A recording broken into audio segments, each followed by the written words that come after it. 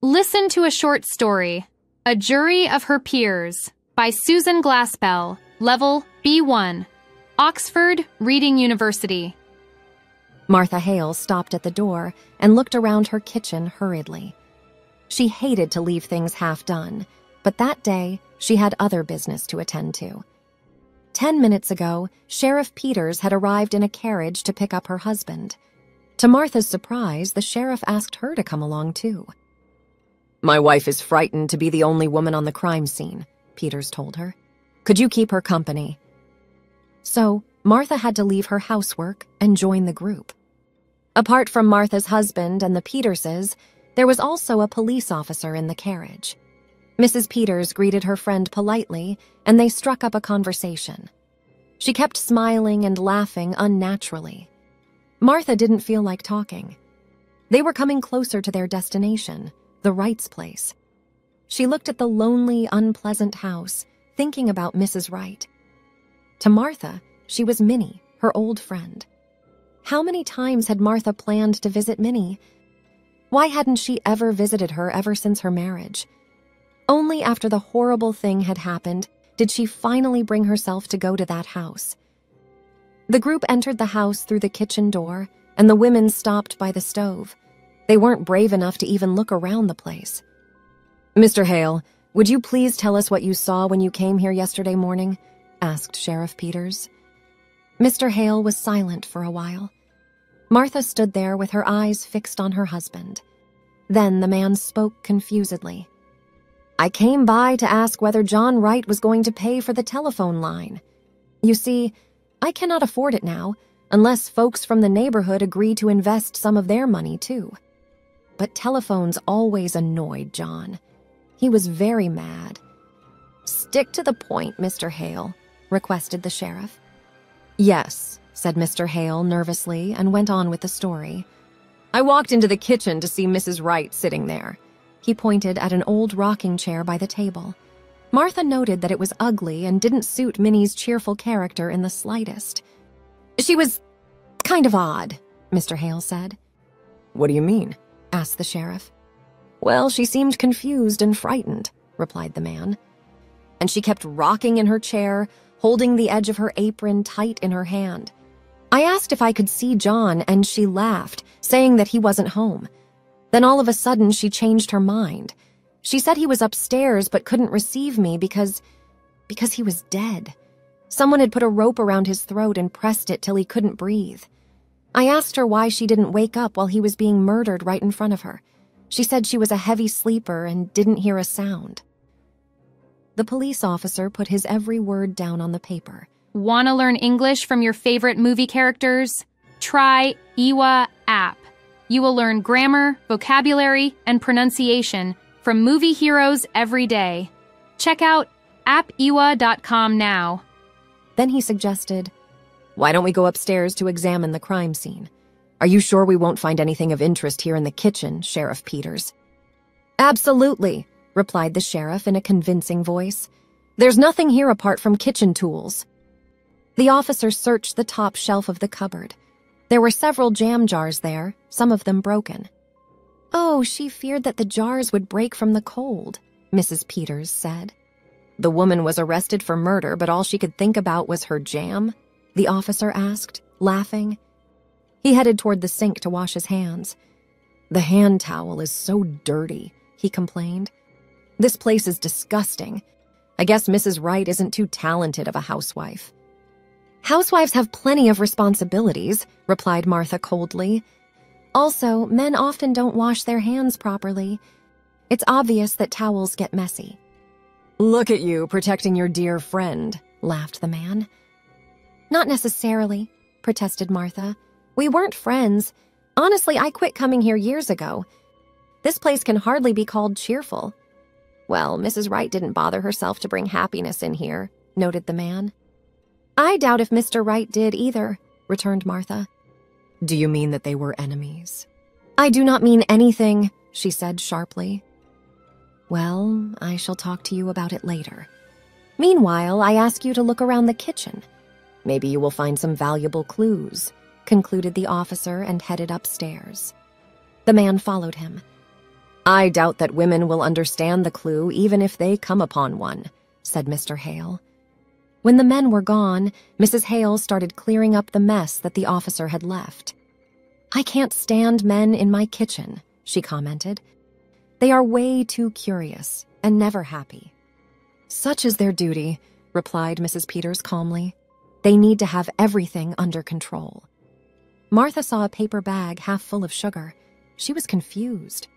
What had made Minnie leave her work half done? Later, the women went to the front room.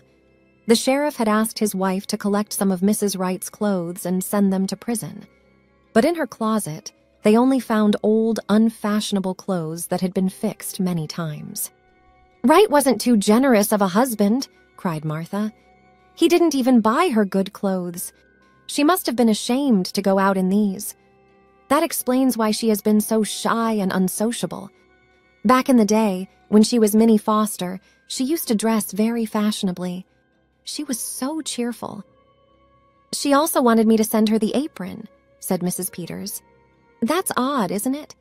I guess she just wants something that reminds her of her normal life. Do you think she is guilty? Asked Martha carefully.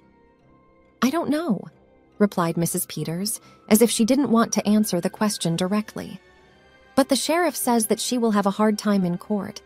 The judge is very strict. He's not going to treat her gently. It's hard to believe that she didn't wake up. Well, John Wright didn't wake up either, even though he was being murdered, said Martha quietly. Mr. Hale thinks it an odd way of killing someone. After all, they had a gun in their house. They cannot solve this mystery. Yes, it's very strange. My husband says the same, admitted Mrs. Peters. It's kind of unfair that they're turning her house upside down to prove her guilty while she isn't here, commented Martha. The law is the law, said Mrs. Peters thoughtfully. Martha looked at the stove. It seemed old and broken. How could she bake in this oven? Thought Martha. Or wear those ugly clothes? Poor Minnie, why haven't I ever paid her a visit in all those years? The sheriff's wife went to the back of the room to hang her coat and then stopped sharply. Look, she was sewing a blanket, she said. Martha came closer to examine the cloth. Do you think she was going to put a layer of wool inside or just knot the pieces together? Martha asked. Just then, they heard the officer's voice. Seriously? Is this what bothers you right now? He laughed. All right, gentlemen. Let's head to the yard and clear this case once and for all. They're so annoying, complained Martha when the men were gone. Why do they care so much about what we're doing?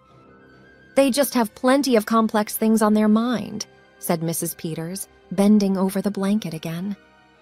Look, cried Martha in surprise. All the other pieces are sewn nicely, but this one is a mess. It's as if Minnie felt so lost she'd completely forgotten how to sew. They exchanged frightened looks. Then, with an effort, they took their eyes off each other. Martha took the blanket and started fixing the piece. Mrs. Peters came up to the cupboard in search of a bag for Minnie's clothes. Suddenly, she said, There's a bird cage here. I didn't know she had a bird. Maybe she did, replied Martha and came closer to examine the cage. She must have had a little singing bird. She used to be a great singer herself, you know. Look at the door, said Mrs. Peters. It's been opened by force. It hardly stands in place. I have a bad feeling about it, said Martha.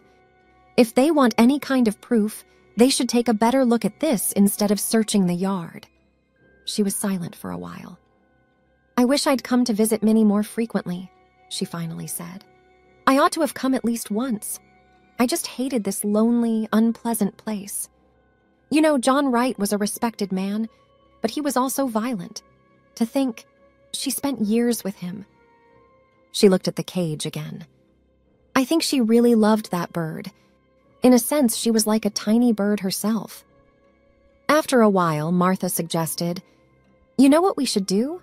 We should send her the blanket as well. This will entertain her a little.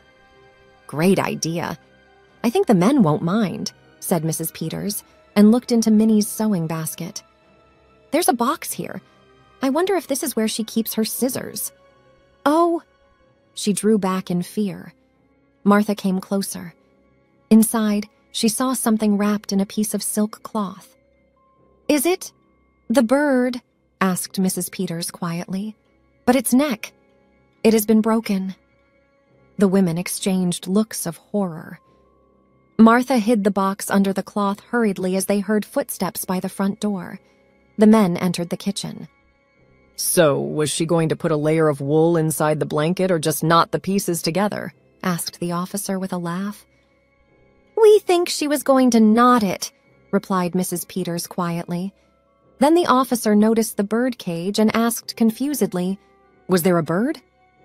The cat must have caught it, said Mrs. Peters in a surprisingly calm voice. But it's gone now. They say that cats leave when the housewife is gone. She sank in her chair tiredly, but the officer failed to notice it. Well, let's head upstairs once again, he told the men. There was no sign of breaking in from outdoors. The rope belonged to them. I think it's pretty obvious. When they left, the women sat silently for a long while.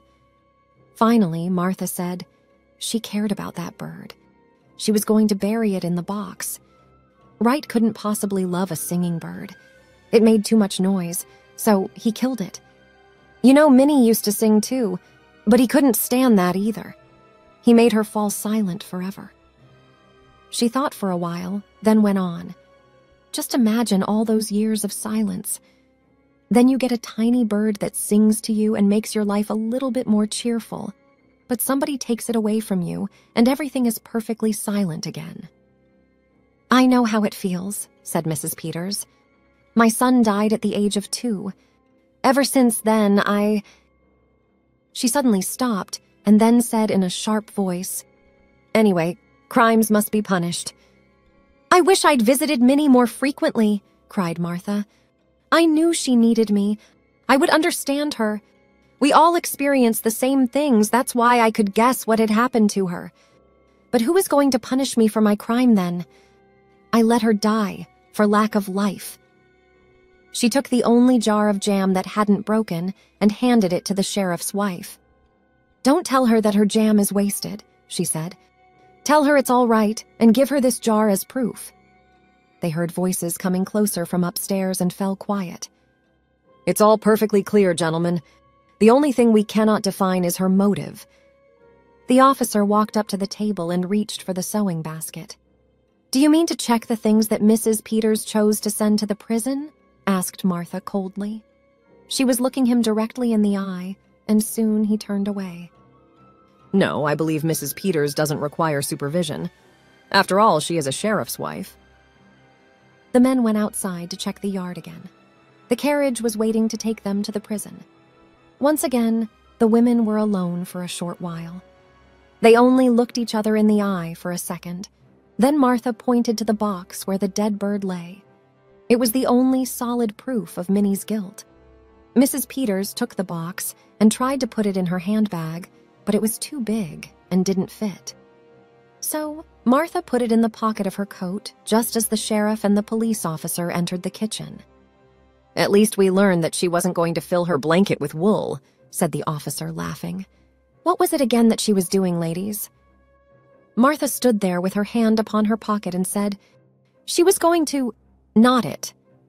Don't forget to hit the like button to get more audiobooks for free. And now, listen to another English story.